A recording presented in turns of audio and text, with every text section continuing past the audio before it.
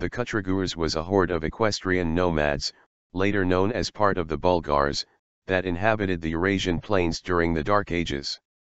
They were first mentioned in 539-40 under the leadership of Shaush they may have come into existence when the Akacires under Dengizich were conquered by the Onogurs in the 460s citation needed the conquest of the easternmost Kutrigurs by Gokturk arrivals led by three brothers from the Imaon Mountains in the 6th century is mentioned by Bar Hebraeus, as well as in the chronicle of the late 12th century Jacobite patriarch of Antioch Michael the Syrian.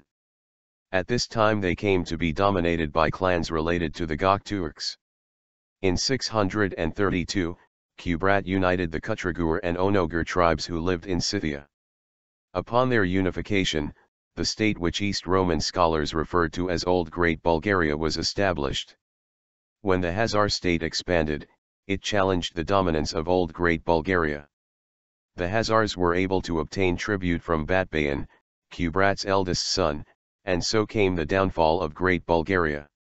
In the mid-17th century, a dissenting faction of Kutrigurs seems to have traveled to the upper Volga where, along with part of the Utigurs, they founded the state of Volga Bulgaria with Kotrag as its ruler.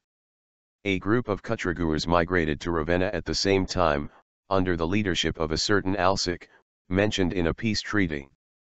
Under the leadership of Kuber, er, another part of the Kutrigur tribe seems to have moved to Sirmium, Pannonia, and from there south to the Pelagonian plain. Thereafter they disappear from history as a separate Bulgar group.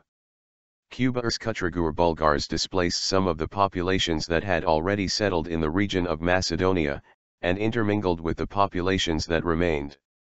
In the 8th century, the Kuber Bulgars merged with Asparukh's Bulgars who had already settled on both sides of the Danube River in the late 7th century.